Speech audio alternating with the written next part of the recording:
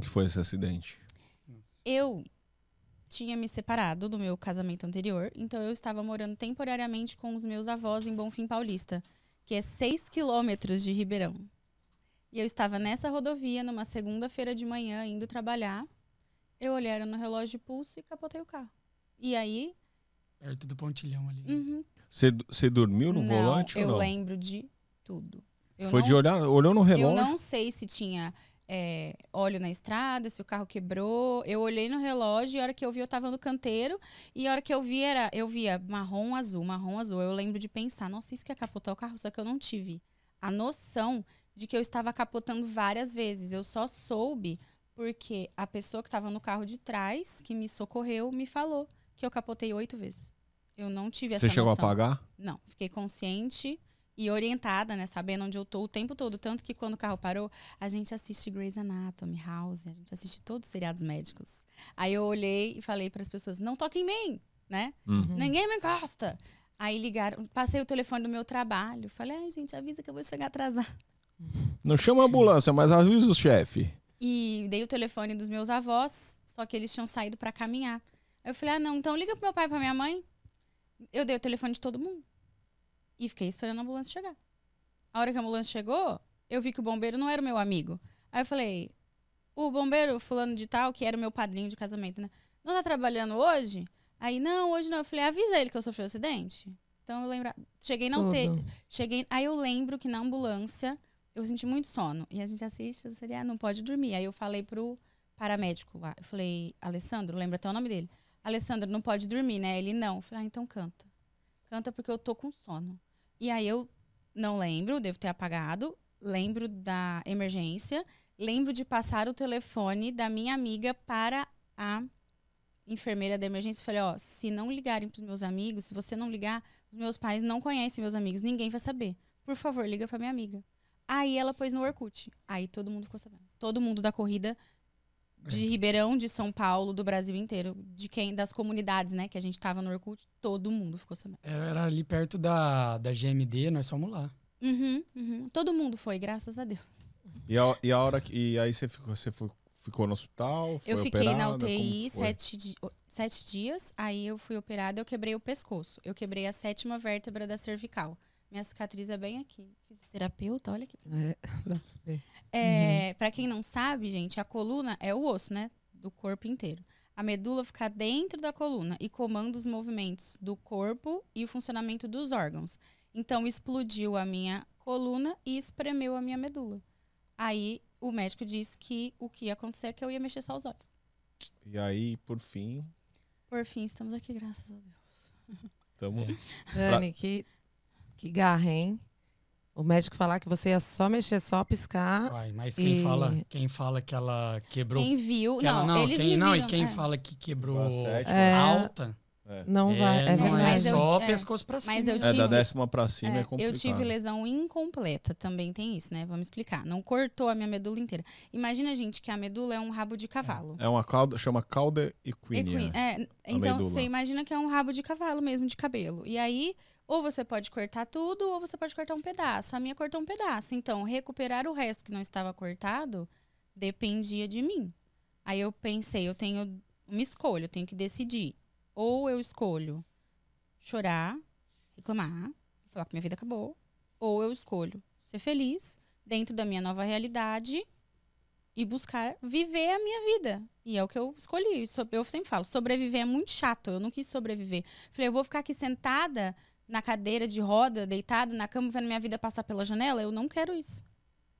E aí eu escolhi que não era isso que eu queria. Eu escolhi viver dentro da, da melhor forma possível e da mais feliz possível na cadeira. Eu sei que tem muita gente, muito cadeirante, que reclama da cadeira.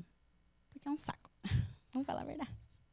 Mas eu tenho que dar um beijo na boca de quem inventou a cadeira. Porque se não fosse isso, eu estava deitada na minha cama para sempre. E tudo que eu vivi depois do acidente, eu não teria vivido. Eu nunca tinha saído do país. Eu saí, viajei, agora eu moro aqui. Eu nunca tinha. é, eu tinha ganhado três troféus de corrida. Agora eu tenho um monte. eu, Top. eu queria fazer triatlon. Eu nunca tinha conseguido fazer triatlon antes do acidente. Consegui depois. Eu queria correr maratona. Não tinha conseguido correr. Já corri nove, já tô inscrita pra décima. Então, e antes não conseguia correr cinco. É. Morria, não é? Tinha balada que Morria. atrapalhava. Gente, Tinha balada que morria. atrapalhava. Não, não, assim. Vamos, vamos falar a verdade. Eu não sou assim, um corpinho de atleta. Não tenho esse biotipo, nunca tive. Sempre fui mais gordinha mesmo, né? Aquele, como que é mesmo, gente? Endomorfo. Aquele, aquele chubs. Então, é difícil correr mesmo. Então, você gosta, você vai, independente do que diz o biotipo. Mas eu nunca, nem andando, tinha aquele biotipo você fala, essa aí é triatleta. Não. Tem gente que você olha na rua e fala, eu corro, tre- ah, blá, blá, blá, treinando aqui, Uhum. correndo. Eu vejo um pessoal e eu falo, esse aí é do triatlo, certeza. Porque É. tem o biotipo. Eu nunca tive. Mas, mas, É. mas o biotipo é muito complicado falar. Um tempo atrás, eu não sei hoje, mas um tempo atrás, quem liderava é, o Ironman do Havaí era um cara mais fortinho. Não, mas eu tenho amigos Ele de uma equipe que eu participei de uns suplementos que eu tinha patrocínio no Brasil. E um dos meninos que fazia todas as provas do meio Ironman do Ironman, todas, do circuito, não tinha o biotipo. É, ele era não- bom. é. Ele era bom. É, não, então. Tem gente que tem. gente- Não, não tem é, na verdade, é o seguinte: o, o triatlo é um negócio que te exige muito, né? São três modalidades em, um, em uma prova só. Ah, é então, legal. o, o treino é, é, é, é um treino diferente, né? Uhum. Então, não tem essa do biotipo. Tem muita da, da mente, da sua vontade, Hum. dedicação. Exatamente. Tudo isso daí, né? Exatamente. E deixa eu te perguntar uma coisa: quando você saiu do hospital, você você estava mexendo?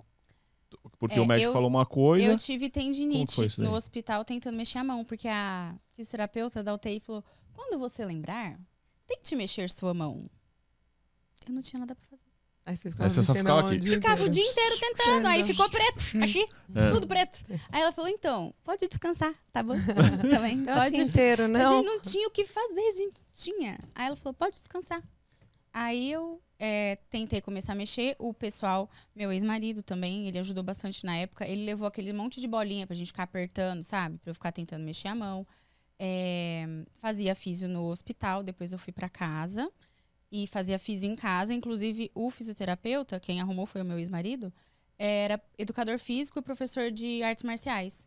Então, isso ajudou bastante também, esse, esse meu início na físio em casa mesmo. Comecei a treinar. Deixa eu travar aqui pra não sair rolando. Esse, esse movimento aqui, que é o movimento que o cadeirante mais faz, né? Pra gente sair da cadeira e passar pra qualquer lugar cama, carro, poltrona, sofá, qualquer lugar. A gente usa muito esse movimento. Então, eu comecei a treinar isso já com ele. E depois eu fui pro Hospital Sara, em Brasília, pra fazer reabilitação. Reabilitação. É, e eu lembro. Na volta, ai, gente, eu sou muito idiota. sou. Na volta. Eu fui sair do avião, encontrei a minha ex-chefe de muita época que a gente se conheceu. E eu acho que ela não sabia que eu tinha sofrido um acidente. Aí ela, ah, está voltando de Brasília? Eu, "É, eu tava na reabilitação. Aí eu acho que ela pensou que era De- de fumaça, de drogas. Os negócios, É. né? Dos rolês. Ah. Eu não sabia que era de cadeirante. E ela fez uma cara pra mim de assustada. E eu, ela não gosta mais de mim. Será? Depois de um tempão, eu falei, ah, nem todo mundo sabe que você ir para o hospital, aprender a andar de cadeira, se trocar, chama reabilitação também, né? Eu falei, mas É. é que ela pensou que era outra coisa.